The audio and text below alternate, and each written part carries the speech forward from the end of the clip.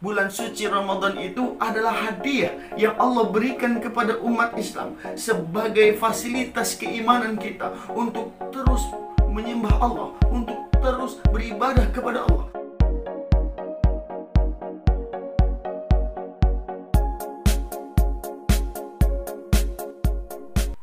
Bismillahirrahmanirrahim. Assalamualaikum warahmatullahi wabarakatuh. Hamdan salaman amma ba'du Segala puji bagi Allah subhanahu wa ta'ala Tuhan semesta alam Salawat serta salam kita haturkan Kepada baginda Nabi Muhammad sallallahu alaihi wasallam. Pemirsa Asyidika TV yang dimuliakan oleh Allah subhanahu wa ta'ala Sudah tiga hari kita menjalankan ibadah puasa di bulan suci Ramadan. Sungguh luar biasa. Desiran kenikmatan iman, desiran kenikmatan ibadah itu mengalir di tubuh kita sehingga kita pun merasa dekat dengan Allah Subhanahu wa taala.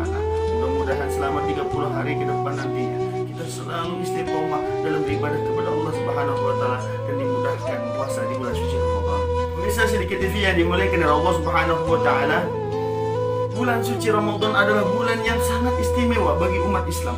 Bahkan bulan suci Ramadan itu adalah hadiah yang Allah berikan kepada umat Islam sebagai fasilitas keimanan kita untuk terus menyembah Allah, terus beribadah kepada Allah, untuk terus berbuat baik kepada Allah Subhanahu wa taala sehingga Allah Subhanahu wa taala menjadikan bulan suci Ramadan ini adalah satu-satunya bulan yang namanya tercantum di dalam Al-Qur'an. أعوذ بالله من الشيطان الرجيم بسم الله الرحمن الرحيم شهر رمضان الذي أنزل فيه القرآن هدى للناس وبينات من الهدى والفرقان Surat Al-Baqarah ayat 185 pada surat Al-Baqarah ayat 185 tersebut Menandakan bahwa syahrul Ramadan Bulan Ramadan Ini adalah namanya sudah tersebutkan di dalam Al-Quran Nah ini menunjukkan bahwa Ramadan, bulan suci Ramadan itu adalah bulan yang sangat istimewa. Siapa pun namanya yang disebutkan di dalam Al-Quran itu menandakan penuh dengan hikmah, penuh pembelajaran dan perlu kita isi atau manfaatnya bagi umat Islam. Saya sedikit TV yang dimuliakan oleh Allah Subhanahu wa taala. Setiap yang istimewa, setiap yang memiliki kandungan hikmah yang luar biasa, pastilah memiliki nama-nama yang banyak. Begitupun dengan bulan suci Ramadan. Bulan suci Ramadan itu memiliki banyak nama lain selain Ramadan. Begitu pula dengan baginda Rasulullah Wasallam. Baginda Rasulullah Wasallam adalah manusia yang istimewa, manusia yang sangat luar biasa. Kekasihnya Allah Subhanahu Wa Taala. Di dalam kitab Dalailul Khairat karya Syekh Abu Abdullah Muhammad bin Sulaiman Al-Jazuli Baginda Rasulullah SAW memiliki 201 nama baik luar biasa. Hal ini menunjukkan keistimewaan dan keagungannya Nabi Muhammad SAW di hadapan Allah Subhanahu Wa Taala dan di hadapan makhluk Allah Subhanahu Wa Taala.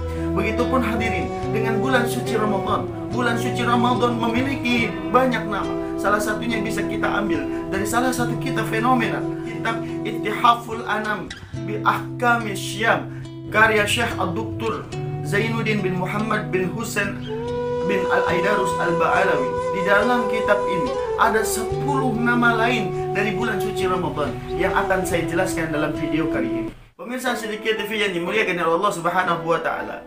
Di dalam kitab Ittihaful Anam bi Ahkamis dinyatakan bahwa ada 10 nama lain dari bulan suci Ramadan. Yang pertama yaitu bulan suci Ramadan memiliki nama Syahrul Quran atau Syahrul Tilawah. Kenapa dinamakan Syahrul Quran atau Syahrul Tilawah? Karena di dalam bulan suci Ramadan Al-Quran diturunkan oleh Allah Subhanahu wa taala. Hal ini digambarkan di dalam surat Al-Baqarah ayat 185. Syahrul Ramadan alladzi unzila fihi Al-Quran. Di bulan suci Ramadan Al-Quran itu diturunkan oleh Allah Subhanahu wa taala. Ini menandakan bahwa bulan suci Ramadan memiliki nama lain yaitu Syahrul Quran atau bulannya Al-Quran. Kemudian ada lagi Syahrul Tilawah. Apa itu Syahrul Tilawah? Bulannya membaca Al-Quran. Hal ini disampaikan dari hadis baginda Rasulullah Sallallahu Alaihi Wasallam yang diriwayatkan oleh Imam Bukhari. Ani bin Abbas dari sahabat Ibnu Abbas, qala kana Rasulullah Sallallahu Alaihi Wasallam ajwa dan nas. Rasulullah Sallallahu Alaihi Wasallam adalah manusia yang paling murah hatinya. Wa kana ajwadu ma yakunu fi Ramadan hina yalqa Jibril. baginda Rasulullah lebih-lebih murah hatinya. Karena apa? Karena beliau bertemu dengan malaikat Jibril. Wa kana yalqahu fi kulli lailatin min Ramadan fayudarisuhul Quran. Baginda Rasulullah sallallahu alaihi wasallam bertemu dengan malaikat Jibril setiap malam bulan suci Ramadan untuk mengajarkan Al-Qur'an kepada baginda Rasulullah sallallahu alaihi wasallam. Fala Rasulullah sallallahu alaihi wasallam ajwadu bil khair min rihin mursala. Sehingga baginda Rasulullah sallallahu alaihi wasallam memiliki hati yang sangat pemurah, melebihi uh, lembutnya angin yang berhembus hadis riwayat Bukhari. Hal inilah yang menandakan bahwa kita dianjurkan memperbanyak tilawatil Quran, membanyak membaca Al-Quran, minimal kita satu bulan hatam satu Al-Quran. Kenapa? Karena baginda Rasulullah Shallallahu Alaihi Wasallam paling bahagia, paling bergembira apabila di malam-malam bulan suci Ramadan beliau bertemu dengan eh, dengan malaikat Jibril alaihissalam. Kemudian baginda Rasulullah Shallallahu Alaihi Wasallam mempelajari dan membaca Al-Quran di hadapan malaikat Jibril alaihissalam. Begitupun seharusnya dengan kita. Kita diberikan fasilitas bulan suci Ramadan ini untuk memperbanyak bacaan Al-Quran kita, memperbanyak tadarus Al-Quran kita. Mudah-mudahan kita bisa memanfaatkan bulan suci Ramadan ini menjadi syahrul tilawah, yaitu bulannya membaca Al-Quran. Mirsa sedikit TV yang dimuliakan oleh Allah Subhanahu wa taala. Nama lain bulan suci Ramadan adalah Syahrus Siam. Apa itu Syahrus Siam? Bulannya puasa. Bahkan kita selalu merendengkan bulan suci Ramadan dengan puasa Ramadan. Karena apa? Bulan ini diwajibkan bagi umat Islam untuk berpuasa dan tidak ada bulan-bulan yang lain diwajibkannya umat Islam untuk berpuasa kecuali di bulan suci Ramadan. Makanya di dalam hadis baginda Rasulullah wasallam dinyatakan bahwa An Abi Hurairah Rasulullah sallallahu alaihi wasallam qala. Dari Abu Hurairah Rasulullah sallallahu alaihi wasallam bersabda man shoma ramadhana imanan wa ihtisaban ghufira lahu ma taqaddama min dhanbi Barang siapa yang berpuasa di bulan suci Ramadan dengan keimanan yang tinggi dan juga pengharapan dari kepada Allah dengan ridhonya, maka Allah Subhanahu wa taala mengampuni dosa-dosanya yang telah lalu. Hadis riwayat Bukhari. Oleh karena itu, bulan suci Ramadan dinamakan dengan syahrul syam agar supaya kita bersungguh-sungguh di dalam berpuasa bulan uh, berpuasa Ramadan. Jangan sampai kita malas-malasan, jangan sampai kita merasa berat di dalam hati kita. Pemirsa sedikit TV yang dimuliakan oleh Allah Subhanahu wa taala. Yang ketiga, nama lain dari bulan suci Ramadan adalah Syahrul Qiyam. Apa itu Syahrul Qiyam? Bulannya salat. Karena di bulan ini dianjurkan untuk kita memperbanyak sholat malam kita. Baik itu tarawih, baik itu witir, baik itu tahajud maupun sholat hajat. Makanya baginda Rasulullah SAW bersabda di dalam hadis riwayat Bukhari, "Man qoma Ramadana imanan wahtisaban ghufira lahu ma taqaddama min dhanbi. Baginda Rasulullah sallallahu alaihi wasallam Abu Hurairah selalu memberikan uh, arahan kepada sahabatnya setiap malam bulan suci Ramadan untuk terus melaksanakan salat malam namun baginda Rasulullah Shallallahu alaihi wasallam tidak mewajibkannya. Kemudian baginda Rasulullah Shallallahu alaihi wasallam bersabda, barang siapa yang salat di bulan suci Ramadan. Karena keimanan di dalam hatinya yang kuat dan hanya mengharap ridho dari Allah Subhanahu wa taala maka Allah ampuni segala dosanya yang telah lalu. Subhanallah hadirin yang dimuliakan oleh Allah Subhanahu wa taala. Maka manfaatkanlah di bulan suci Ramadan. Istiqomahkanlah apa sholat tarawih di bulan Ramadan. Apalagi sholat tarawih ini adalah sholat satu-satunya terkhusus di bulan suci Ramadan. Walaupun kita mungkin sholat di rumah karena pandemi corona sekarang ini tidak mengapa ya sholat saja di rumah. Entah dua rakaat sholat tarawihnya boleh empat rakaat boleh enam rakaat boleh atau sepuluh rakaat bahkan atau dua puluh rakaat atau melebihi itu juga silahkan boleh. Karena sholat tarawih itu tidak memiliki batasan. Karena sholat tarawih adalah ibadah sunnah yang sangat dianjurkan di bulan suci Ramadan. Yang pasti bagi umat Islam jangan malas-malasan uh, untuk melaksanakan sholat tarawih karena sholat tarawih memiliki hikmah dan kandungan yang luar biasa di bulan suci Ramadan ini Pemirsa sedikit TV yang dimuliakan oleh Allah Subhanahu wa taala. Yang keempat, bulan suci Ramadan memiliki nama yang lain yaitu Syahrul Du'a. Apa itu Syahrul Du'a? Syahrul Du'a itu adalah bulannya pengistijabahan doa.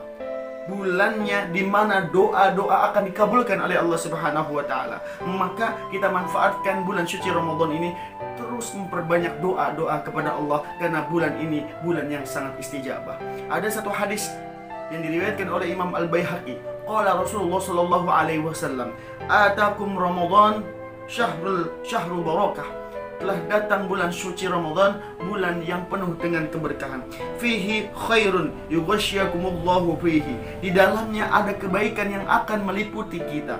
Ya, fatanzilur rahmah, maka turunlah rahmat, kasih sayang Allah kepada kita.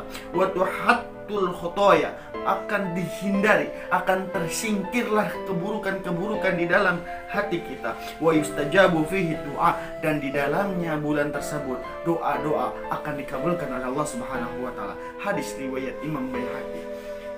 Di dalam hadis ini menyatakan bahwa doa-doa kaum muslimin di dalam bulan suci Ramadan apalagi nanti doa setelah kita berbuka puasa itu sangat mustajabah atau doa setelah kita makan sahur di waktu imsak di situlah istijabah doa. Umat Islam berdoa dengan sungguh-sungguh. Uni astajib berdoalah kepadaku maka akan aku langsung kabulkan oleh Allah Subhanahu wa taala. Subhanallah. Maka jangan lupa di bulan suci Ramadan ini memperbanyak doa-doa kepada Allah Subhanahu wa taala. Mudah-mudahan doa-doa kita akan dikabulkan oleh Allah Subhanahu wa taala.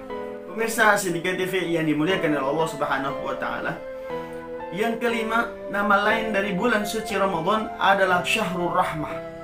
Bulannya rahmat bulannya kasih sayang Allah kepada hamba-hambanya. Karena di bulan suci Ramadan ini, rahmat Allah, kasih sayang Allah, cintanya Allah Subhanahu wa taala kepada hamba-hambanya sangat melimpah ruah. Hal ini tergambar di dalam hadis riwayat Tirmizi qala Rasulullah sallallahu alaihi wasallam. Rasulullah sallallahu alaihi wasallam bersabda, "Idza kana awwalu lailatin min syahri Ramadan" Jika malam pertama bulan suci Ramadan datang, supidat asyaitanu wa maradatul jin maka setan-setan dan jin-jin akan dibelenggu oleh Allah Subhanahu wa taala, akan dipenjara oleh Allah Subhanahu wa taala sehingga tidak menggoda umat manusia. Wa ghulliqatul abwabun nar. Kemudian pintu-pintu neraka akan ditutup oleh Allah Subhanahu wa taala. Falam yuftah minha babun. Tidak ada yang bisa membuka pintu-pintu neraka tersebut. Wa futihatu abwabul jannah dan terbukalah pintu-pintu surga di bulan suci Ramadan. Falam yughlaq minha babun dan tidak ada yang bisa yang menutup pintu-pintu surga tersebut di bulan suci Ramadan. Wa yunadi munad, munadi. Nanti ada satu seorang penyuruh yang menyeru kepada manusia, "Ya baghil khair, aqbil." Wahai orang-orang yang mengharapkan kebaikan di bulan suci Ramadan, bersegeralah untuk mendatanginya. Wa ya baghiya syarru, syarru aqsir. Wahai orang-orang yang mengharapkan keburukan di bulan Ramadan, berhentilah di bulan suci Ramadan ini walillahi ghutha'un minan nar wa dzalika kulla lailatin. Allah Subhanahu wa taala akan uh, menghentikan atau menyelamatkan hamba-hambanya dari api neraka di bulan suci Ramadan. Hadis riwayat Tirmizi. Ini menunjukkan bahwa pintu-pintu surga bulan suci Ramadan akan dibuka oleh Allah Subhanahu wa taala. Itu berarti kebaikan-kebaikan melimpah ruah di muka bumi ini di bulan suci Ramadan. Kemudian pintu-pintu neraka ditutup artinya keburukan-keburukan dan kejahatan-kejahatan itu akan diminimalisir sekali di bulan suci Ramadan apalagi setan dan jin jahat yang selalu menggoda manusia di bulan-bulan sebelumnya akan dibelenggu oleh Allah Subhanahu wa taala sehingga kita akan menjalankan ibadah bulan suci Ramadan ini dengan penuh kebahagiaan dan penuh dengan harapan rahmat dari Allah Subhanahu wa taala. Pemirsa sedikit TV yang dimuliakan oleh Allah Subhanahu wa taala, mungkin lima ini saja yang bisa saya sampaikan dalam video kali ini ini. Besok akan saya uh, lanjutkan uh, nama bulan suci Ramadan yang ke-6, ke-7, ke-8, ke-9 dan ke-10. Mudah-mudahan video ini bermanfaat. Akhirul kalam ihdinas syiratal mustaqim wal afwa minkum wa wal inayah. Assalamualaikum warahmatullahi wabarakatuh.